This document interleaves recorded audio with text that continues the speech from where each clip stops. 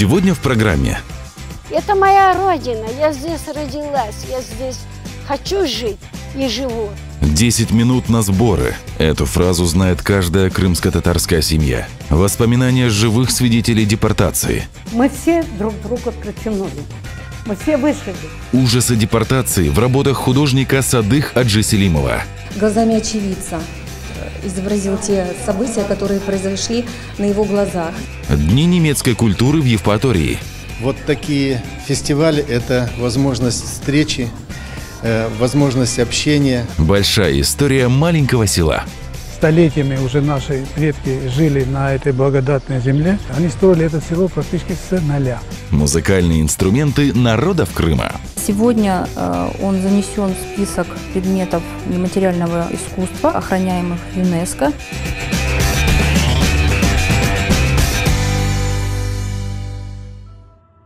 18 мая – День памяти и скорби жертв депортации народов Крыма. Именно в этот день, 75 лет назад, товарные поезда увозили сотни тысяч дочерей и сыновей крымской земли. Далеко от родины, в Среднюю Азию, в Сибирь, на Дальний Восток. Вслед за крымскими татарами 27 июня 1944 года по решению советского руководства были депортированы греки, армяне, болгары и другие народы. Всего переселили более 250 тысяч человек. Возможность вернуться на родину у крымских татар появилась спустя 45 лет, в 1989 году. Однако восстановить свои права полностью они смогли только после воссоединения Крыма с Россией. В 2014 году президентом Российской Федерации Владимиром Путиным был издан указ о мерах реабилитации депортированных народов.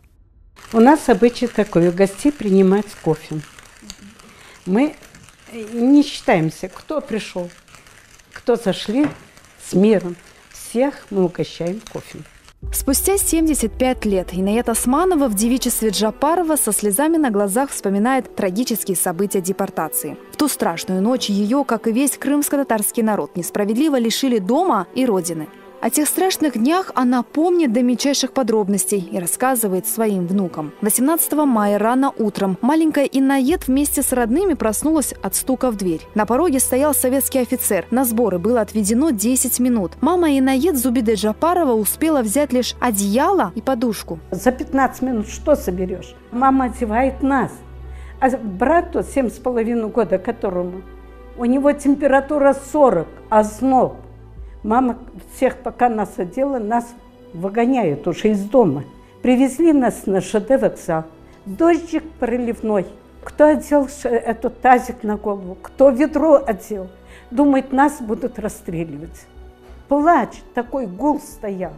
В то время, пока мужчины сражались на фронтах Великой Отечественной войны, их матерей, жен и детей высылали из родного дома. Инаед Серверовна вспоминает, как во время дороги в их вагоне скончались трое людей, но их не смогли похоронить, оставили на платформе. У нас вши сыпались с головы, как будто они там размножались. Двое суток не останавливали вагон. Двое суток. Мужчины направлялись кое-как куда-то, а женщины заграждали, у кого есть платок или что-то, или подолом, и женщины отправлялись тоже в вагоне. Люди умирали на платформу, выкидывали, не останавливались. Дети умирали, рожали. Женщины рожали. Это было естественно. Семья Джапаровых по распределению попала в Ташкент. Но чтобы добраться до города, нужно было идти месяц пешком через огромное поле, по которому ползали змеи. Уже трава была желтая. Змей было очень много. Мы были на поле. Змей было больше, чем травы, наверное. Людей предупредили, куда нас привезли, узбеки там жили, казахи, киргизы. Предупредили, что везут таких страшных людей, у которых на лбу од- один глаз. Чуть ли не людоеды. Они прятались, смотрели в щели, кто мы такие. А когда увидели, что мы такие же люди, как они, они стали относиться более лучше. Нас обзывали крымские предатели. Старшие ребята, которые были 13-15 лет, они дрались до крови, брали камни и друг друга били, кто обзывал их. Но ни одна учительница и ни один взрослый не говорил, дети, вас это не касается. Вы дети, никто не защитил. Поэтому у нас В душе осталась эта боль. Сервер Джапаров, отец Инаед, так и не смог вернуться на родную землю. Умер на чужбине. Мать Инаед Зубиде прошла нелегкий путь выживания. Голод, холод, болезни и смерть близких. Сегодня Инаед вспоминает, они мечтали лишь об одном – досыта наесться хлеба. Кушать нечего, спать не на чем. Мы спали на земле, на голой земле. Своими одеждами друг другу грелись и так спали. Мы что только не ели, мы ели и траву. Это аж горло драло. Каждый день приходили нам, давали хину. А хина такая горькая до сих пор у меня во рту. Мама заворачивала ее, э, луковица вот эта, есть э, светлая такая, пленочка, и давала проглотить водой. Говорила, это не горько, косун. Быстро водой запей и все, нам кушать нечего было. Постепенно жизнь налаживалась. Семья Джапаровых обзавелась собственным домом, огородом, завели коз. Собранные в лесу ягоды продавали на рынке, а на вырученные деньги покупали продукты. Семеро нас в семье, трое ребят, четверо девчонок. Все ребята отслужили в армии. Мы все друг друга протянули. Мы все выжили. К счастью, эти времена прошли, оставив за собой лишь тяжелые воспоминания. В Крым семья вернулась в 92 году. На пустыре, названном Хошкильде, они стали осваивать землю и строить дом. Позже Инаед женила своего сына. Это была одна из первых свадеб на родной земле. Одна из первых была свадьба здесь. Но все родственники собрались, готовили. У нас обычай все собираются. Здесь было девять временок в начале. Не было никого, не было. Девять временок. Пешком ходили со свободы сюда. Машина не могла проехать, потому что грязь, слякоть была. Прожив тяжелую жизнь, наполненную горькими испытаниями, Инаэт Серверовна желает лишь одно – доживать свой век в Крыму, рядом с родными и близкими.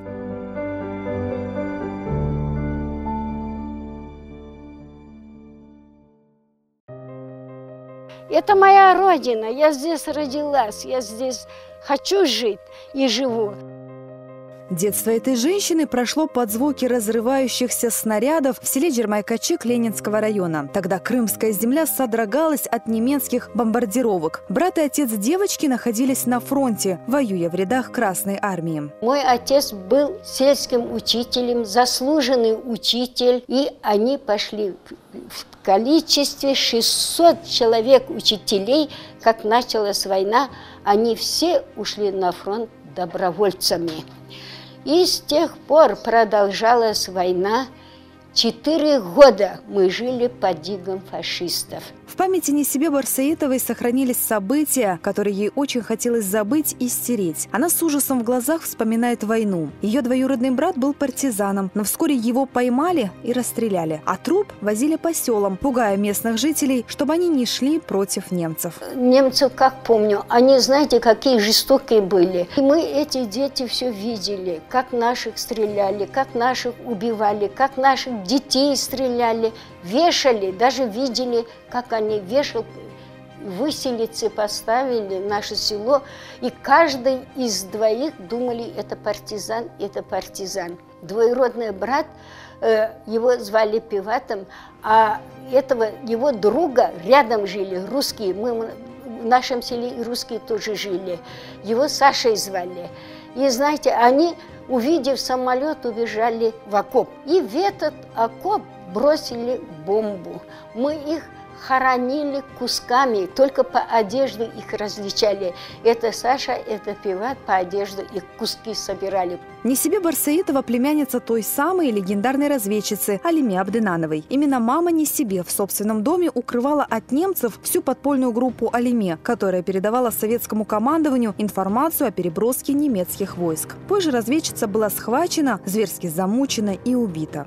Алиме Абдинанова, знаете, моя тетя, она пришла в конце 43 -го года, пришла в наш дом. Мы долго не знали, чем она занимается. Ну, она спрашивала все время, кто приходит. И у нас дома ночевала, длинные платья ей одевали. С нашего дома увезли. Всех-всех забрали. Девата, Девдета, э, этого Седомета, всех-всех забрали. В апреле 44-го Керчь освободили от немецких захватчиков. Не себе вспоминает те минуты невероятного счастья и радости. Тогда им не верилось, что враг отступает. Вроде говорили, война кончилась, наши солдаты приходят, нам говорят, мы победим, мы едем до Берлина, теперь живите. Это было 44 год, апрель месяц. Не бойтесь, теперь, говорит, мы будем побеждать и вернемся, с вами будем Катюши танцевать. Отец не себе вернулся с фронта домой 17 мая 44-го, без одной руки. А уже на следующее утро советская власть начала поголовную депортацию крымско-татарского народа. А на рассвете стучать двери. И такой гром, еще как стучали. Открывает мама дверь и говорит, всех разбудить и строй. Вставайте, вставайте, говорит, пришли солдаты, нас, говорит, арестовать. А мой папа говорит, как нас будет арестовать? Я только вчера приехал с фронта, пять лет дома не был, а они говорят, есть указ, есть приказ выселить всех крымских татар до единого с Крыма. Мой отец говорит, не может быть этого. Я же сначала на войну ушел, как ушел, так и вот сейчас пришел.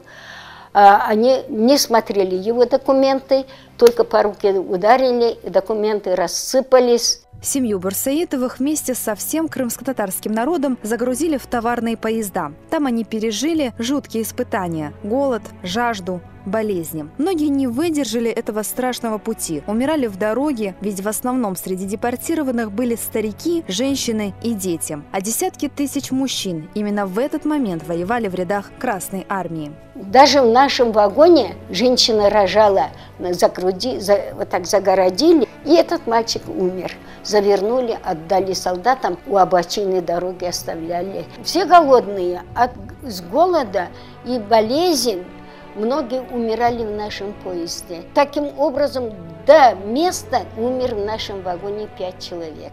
И одна женщина родила, один ребенок, можно сказать. Когда поезд остановился на конечной станции в Средней Азии, местные жители выстроились в ряд с лопатами и вилами, собираясь встретить предателей, но увидев в руках женщин и стариков Коран, изменили свои намерения. Там нас встречали боем, эти узбеки. Их информировали одноглазые людоеды. И они начали на нас бросать камнями. Тогда знаете, как камчами они били? Это плетка. У них вот такая плетка. Сильно, сильно издевались. Местный народ, местное население сильно издевались в течение нескольких месяцев. А потом, потом, это, знаете, это уже 48-х, 49-х годах только они к нам привыкли, уже относились по-человечески. Долгие десятилетия жизни на чужбине семья не себе мечтала вернуться в Крым. Было несколько попыток приехать на родину. На землю предков Бурсеитовы вернулись спустя 50 лет. Я вышла из парома и сразу обняла землю и стала целовать. А люди думали, что я в обморок упала и поднимают меня. Что с вами, что с вами, хотели мне помогать тогда. Я говорю, я на родину пришла, ногой правой наступила.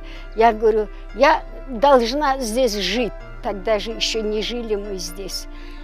Я говорю, я хочу здесь жить. И вот таким образом я очутилась в городе Керчи. Десятилетия лишений вдали от родины не озлобили ни себе, не повлияли на ее отношение к людям. Двери дома Бурсаитовых всегда открыты для гостей, независимо от их веры и национальности.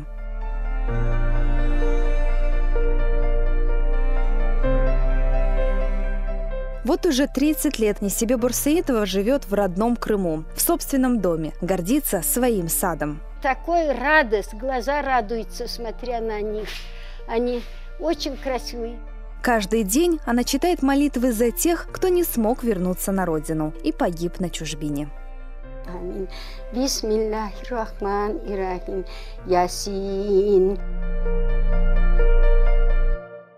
18 мая их э, вывозили в э, в вагонах, в котором возили, вывозили скот, э, и 42 сутки они э, сидели в этих вагонах. Восьмилетний Бекир знает о депортации крымских татар из рассказов своих родителей, а сегодня у него и у его одноклассников есть возможность получить достоверную информацию о трагических событиях 75-летней давности, разглядывая эти картины. Вот сейчас, если вовремя и в нужной форме эту информацию преподнести им, то они, я думаю, пронесут это через века и года и могут передать и своим детям, потому что такие факты нашей э, трагичной истории крымских татар, я думаю, дети должны знать. Это произведение самобытного художника Садыха Аджи Селимова, выполненное на чужбине в годы депортации и в Крыму после возвращения на родину. Каждая работа – это рассказ о трагических событиях, свидетелем которых был сам художник. Здесь представлено более 30 работ самобытного художника Садыха Аджи Селимова, а, Слава Богу, что он до сегодняшнего дня в добром здравии и предоставил нам эти работы. Работы, конечно же, если так присмотреться, они, может быть, не очень профессионально исполнены, но подкупает то, что в них э, Садых Хаджи Слимов глазами очевидца э, изобразил те события, которые произошли на его глазах. И, конечно же, э, они Своего рода это как бы документальная хроника и представляющая также этнографическую ценность, потому что во многих этих работах и типажи крымских татар, и традиции, и национальная одежда, и утварь крымских татар, подробно описанная им в его работах. Сады Хаджи Селимов родился 25 февраля 1931 года в селе Ускут, ныне Приветное Алуштинского района. В 1944 вместе с родными и близкими был насильственно выслан с полуострова. В ссылке от болезни и голода погибли его родители. До 1950 года будущий художник воспитывался в детском доме. И то, что он увидел в детстве, спустя многие годы легло в основу сюжетов его произведений. В 13 лет его депортировали, и Садых Хаджи Селиму все свое творчество посвятил именно этой трагической дате и в своих работах Э, документально воссоздал э, этот трагический день и дальше историю вообще ускутовцев. 16 мая в преддверии трагической даты в Крымско-Татарском музее культурно-исторического наследия открылась персональная выставка художника Сады Хаджи Селимова, посвященная 75-й годовщине Дня памяти жертв депортации крымско-татарского народа. Это все делается для того, чтобы мы знали свою историю, мы знали свои, свою трагедию, но в то же время, чтобы мы двигались вперед. Напомним, в 1944-м из Крыма на Урал и в Среднюю Азию было депортировано около 200 тысяч крымских татар. Ich bin ein Musikanten und komme aus Schwabenland. Wir sind die Musikanten und kommen. Десятилетняя Николь родилась в Германии. Когда девочке исполнилось пять лет, родители переехали в Евпаторию. Этот солнечный город для нее стал родным. К фестивалю немецкой культуры Николь готовилась три месяца. Изучала слова, репетировала. Мы исполняем песню музык «Музыкант». А, э, песня о том, что пришли музыканты из страны швабов и на разных инструментах играют. Ирина Катюк родилась в семье поволжских немцев. Она потомок двух древних немецких династий – Шефер и Гирш. В 1941 году ее предков депортировали из Саратова в Сибирь. Но, несмотря на тяжелые времена, семье удалось сохранить семейные документы и фотографии. Здесь можно, что особенно мне нравится, можно увидеть свадебные фотографии до военного времени. Именно то, как одевались немцы по Волжье. Э, у них был очень такой тяжелый венок с восковыми цветами. Но женщины с трудом выдерживали. Это была просто декорация, потом они его снимали. Хотела бы очень показать. Это воспоминания моей бабушки, которая умерла в Германии в 2014 году. Ее воспоминания, то, как проходила депортация. Вот ее юношеский, ей на тот момент было 20 лет буквально. Э, особенно потрясает, что даже собаки и коровы бежали следом за своими родными. И, конечно, какой праздник без национальной кухни. Светлана Шефер приготовила пирог «Ревель Кухан». Этот рецепт передается в семье из поколения в поколение. Особый рецепт вот в этой крошке. Это домашнее топленое масло, мука, сахар. Все это доводится до вот такой крошечки, посыпается и ставится в духовку. А если пройти дальше, можно увидеть выставку работ мастеров декоративно-прикладного искусства. Татьяна Репина поразила гостей своими работами из шерсти, выполненной в технике валяния. Сам принцип валяния я не придумала, а вот именно придумала как шаблон, как делать этих котов в мокрой технике. Потому что в основном игрушки делаются по-сухому, забивается иголкой, это очень трудоемко. Я упростила, и детям нравится. Тот же принцип, принцип валяния валенок. Вот если взять вот цветок, он раскладывается в плоскости, делается мокрое валяние. Этот раскладывается тоже в плоскости, но потом он набивается синтепоном и получается объемный. Милые кошечки, игривые ежики и мышки. Все эти очаровательные зверята также выполнены в технике мокрого и сухого валяния. И, кстати, научиться этому мастерству могли все желающие. Мы делаем ежика из овечьей шерсти. Эта иголочка нужно валять игрушку. Мы берем шерсть, она вот такая мягкая абсолютно, а из нее уже получается вот такая твердая игрушка, но это уже большое что-то, то есть мы ее должны свалять до очень твердого, видите, состояния. Вот мы валяем форму, я показываю, как эти все части приваливаются друг к другу, пришиваем потом специальный материал, ежиковый махер называется, делаем глазки, и у нас получается вот какой-то такой вот красивый еж.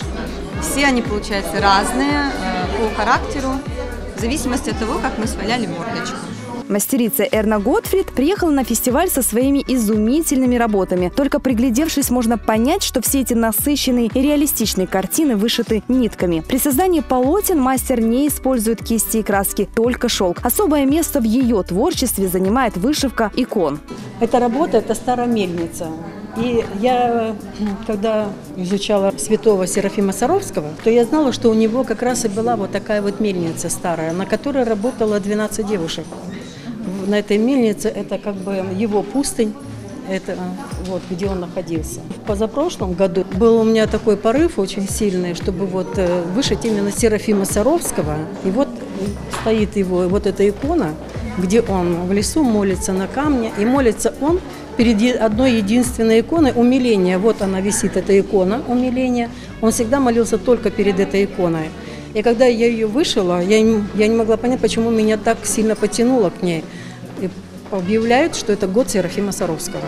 Немецкое общество уже третий год проводит фестиваль немецкой культуры. По словам организаторов, цель праздника – помочь людям разных национальностей и культур сплотиться и обрести новых друзей. Мы все время поздравляем их с этим праздником, потому что многие годы мы жили в одной как бы культурной ипостаси, и у нас э, культуры очень схожие. Немцы в Крыму проживают дисперсно, нас э, чуть больше 1800 человек. Мы разбросаны по городам и селам, и нет такого населенного пункта, где жили бы одни немцы. Поэтому вот такие фестивали – это возможность встречи, э, возможность общения – это воспоминания предыдущих каких-то совместных делах. Ну и кроме того, э, это разговор о том, как жить дальше, что делать дальше вместе, сообща. И, конечно, такие мероприятия, они способствуют э, и развитию немцев, культуры немцев Крыма, и способствуют сплочению Национальные танцы и песни, колоритные костюмы и душевные поздравления. Все это оставило в сердцах детей и взрослых яркие и незабываемые впечатления.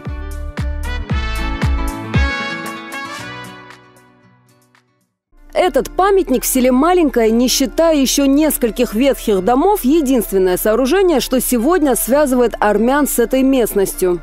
Столетиями уже наши предки жили на этой благодатной земле, крымской земле, и они вносили свою лепту.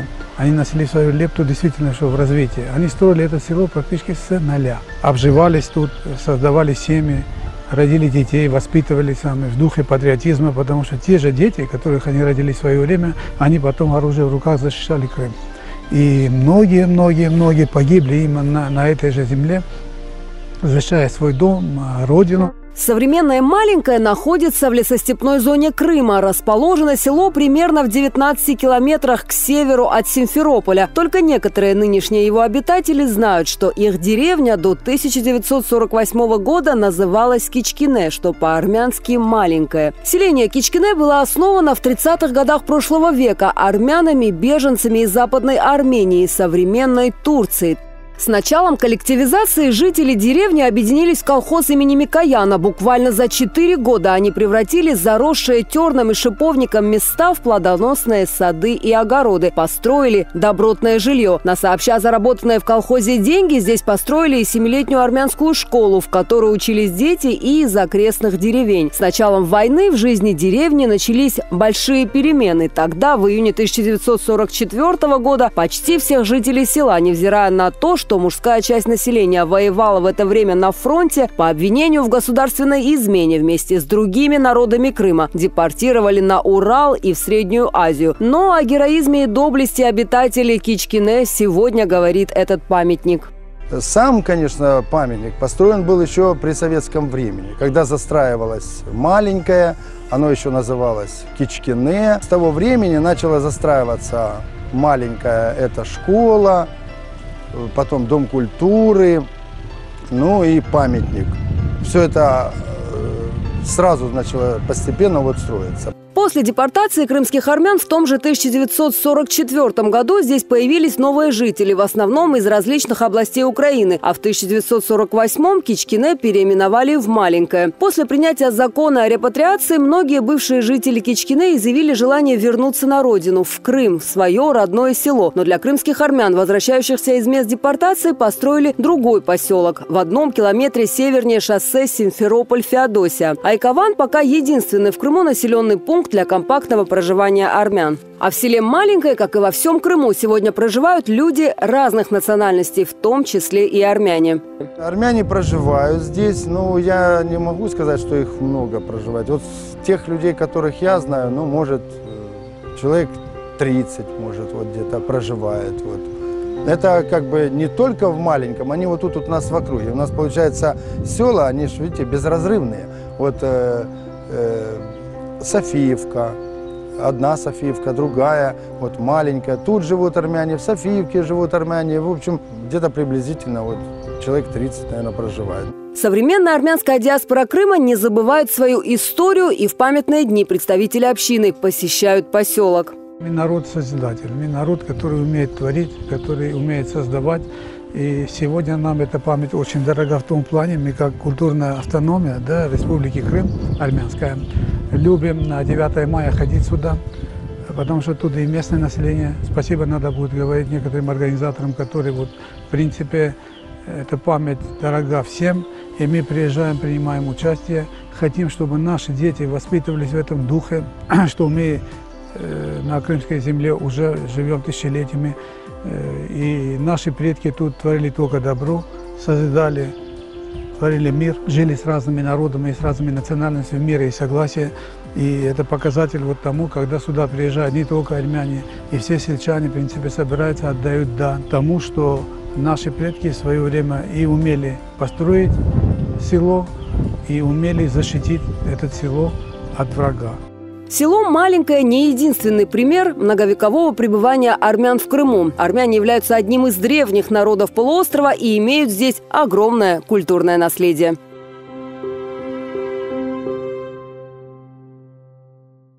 Это только на первый взгляд маленький и ничем не примечательный домик в деревне, однако в его стенах хранится история целого народа. Чтобы узнать больше о чехах Крыма, мы приехали в чешский дом-музей в село Братское Первомайского района.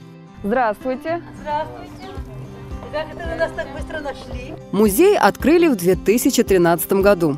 Это дань уважения и культуре наших предков – которую мы чтим и соблюдаем, и поддерживаем, чтобы передать ее нашим потомкам, чтобы они знали значит, корни своих дедов, прадедов, своих предков. Здесь собраны и орудия труда чехов, утюг, прялка, маслобойка и старинная мебель, выполненная без единого гвоздя, и гобелены с традиционной вышивкой. Есть и очень необычные экспонаты. Очень интересный экспонат, ну, получается, сейчас самый дорогой в нашем музее, это свадебное платье «Шимик Эмилии Францевны». Оно было пошито, тогда, конечно, все шили своими руками, из парашюта после войны.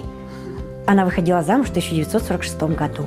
И, естественно, ничего после войны не было ткани. И платье свадебное и пошили из парашюта. Вот ему сколько лет. На сегодняшний день есть посетители у музея? Или это вот вы сделали для себя, чтобы вы знали и помнили ваши дети? Особо нет, конечно. Ну, мы э, из школы можем привозить школьников показывать. Вот школа э, у нас в центральной усадьбе. Но ну, музей селе. для всех Да, каждый день, конечно, да? всегда. Да, в любое время мы можем принимать посетителей, рассказывать им о нашей культуре, которую мы стараемся поддерживать, передаем своим младшим, своим детям даже и внукам теперь.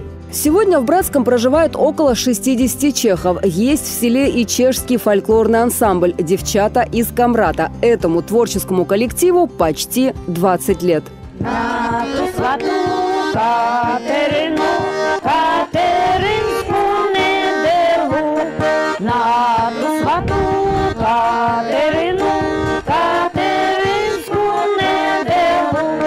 Репертуар у нас в основном чешский, чешские народные песни. Обычно нам мероприятия, которые проводятся здесь в нашем селе, в клубе, иногда э, выходим на сцену, радуем наших жителей. Село Братское – это не единственное место компактного проживания чехов в Крыму. Небольшая община есть и в селе Александровка, и в селе Лобаново. Значительная же часть чехов проживает в Симферополе, а история переселения их на полуостров началась в 1860 году. Этому переезду вынудило то, что в Чехии в это время э, было очень голодно, безработица, вот, тяжелые бытовые условия. И э, как раз вот э, в, эти, в это время был издан указ э, Александра II, где приглашались жители европейских стран на переселение в Крым. В селах им выдавали землю, где-то от 8 до 15 десятин земли. Потом у них была финансовая э, государственная поддержка. На каждого члена семьи э, выдавали по 100 рублей. Вот, или же на, э, и на семью выдавали в общем э, 160 рублей. То есть этих денег хватало на то, чтобы построить или новый дом, или восстановить старые дома, которые были брошены в селах. Таким образом, в Крыму обосновались чехи. Сегодня в Крыму проживают около полутора тысяч человек чешской национальности. Во всех компактных поселениях чехов действуют воскресные школы, где прививают любовь к своим традициям, языку и культуре. Широко отмечаются национальные праздники, а способствует этому культурно-просветительское общество чехов Влтава, действующее с 1993 года. Активистами было принято решение о создании э, такой организации, которая бы объединяла на своей площадке чехов для того, чтобы объединить их и с помощью активных, неравнодушных людей привлечь свое внимание и тем самым сохранить э, культуру, уникальную культуру чехов, приумножить ее и передать по наследству дальнейшим поколениям, чтобы э, наши дети знали, помнили э, дела своих предков. Скажите, пожалуйста, вам удается консолидировать чехов в Крыму? Конечно, чехи очень активный народ. Еще чехи очень приветливы и дружелюбны, а главное их отличие от других народов – космополитизм. Музыка – это язык, который понимают все люди земного шара. У каждого народа есть свои музыкальные инструменты, национальные танцы, народные песни, своя музыкальная культура. Понтийская лира, немецкая физгармония, украинская бандура и армянский дудук. Эти и многие другие музыкальные инструменты народов Крыма находятся в коллекции Крымского этнографического музея. С 1994 года начала складываться музыкальная коллекция. На сегодняшний день более 50 предметов рассказывают о традиционной культуре и музыкальном быте крымчан. Это как межнациональные инструменты, распространенные у разных этносов, такие как тар, кемянча, зурна, так и самобытные, принадлежащие лишь одному народу. Например, дудук – один из самых древних музыкальных инструментов армян. Сегодня э, он занесен в список предметов нематериального искусства, охраняемых ЮНЕСКо. Такой музыкальный инструмент изготавливается из абрикосового дерева. В переводе с армянского дословно означает «душа армянского дерева».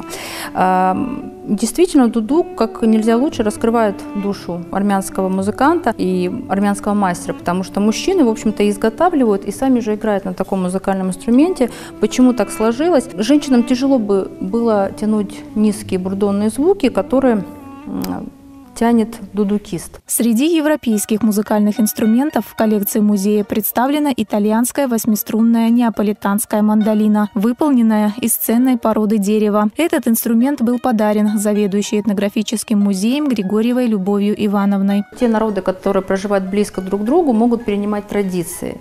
И э, семиструнная гитара, которая вот в данном случае относится к середине 20 века, она московская. В среде музыкальной, в итальянском доме могла звучать. То есть она пришла на смену мандолине, когда, в общем-то, появилась гитара семиструнная, она вытесняет не только мандолину, она вытесняет в том числе и русскую балалайку. Балалайка, или как ее еще называли, балабайка, считается символом русской народной культуры. Название инструмента типично народное, передающее характер игры на нем и суть самого инструмента – легкого, забавного, бренчливого и не очень серьезного. Наряду с балалайкой важным элементом русской культуры является гармонь. Ни один праздник не обходится без игры на этих инструментах. На территории Крымского полуострова, если мы будем с вами даже просматривать фотографии, ездить во время экспедиции и смотреть, что же осталось в домах крымских жителей, а, гармонь в большинстве своем мы даже не встретим не всегда в русском доме.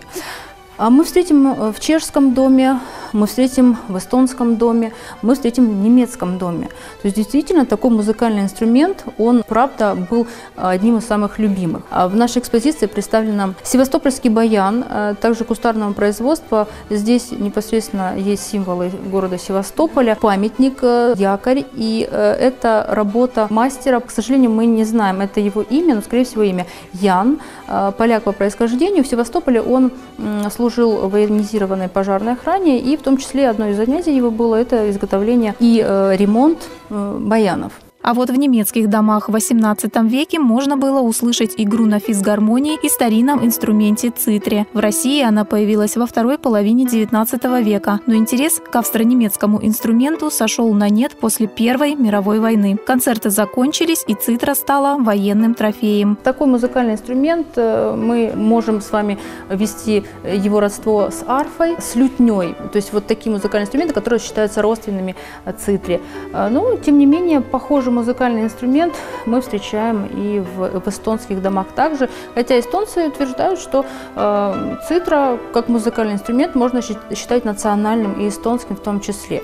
Мы не будем спорить, потому что действительно в музыкальных ансамблях цитра э, используется и в немецких, и в эстонских. Хотя для эстонцев, например, характерно, конечно же, больше использование духовых музыкальных инструментов. Это различные волторные, трубы, огромные, большие, медные. А этот музыкальный инструмент относится относится к еврейской культуре. Шафар – духовой инструмент 20 века, изготовленный из бараньего рога, символизирует сокрушенное сердце. Это ритуальный музыкальный инструмент, который э, является одним из э, древнейших музыкальных инструментов. Относится он к типу ашкенадских музыкальных инструментов. Сефардские э, бараньи рога, они более витые, и звук получается достаточно громкий и резкий. Здесь же на таком музыкальном инструменте, как шафар, выполнен из бараньего рога. То есть ни в коем случае по предписанию Торы не изготавливает мастер такой музыкальный инструмент из э, рогов быка либо коровы.